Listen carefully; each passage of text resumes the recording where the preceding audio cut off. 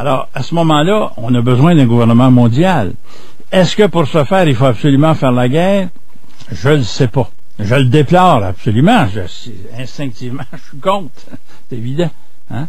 Mais il reste quand même qu'il y a des choses dans le monde, et, ça touche au fond d'une certaine façon au problème qu'on a là. Parce que ces questions-là euh, ont des incidences même sur la pauvreté même sur le fait que certains pays demeurent plus arriérés que les autres.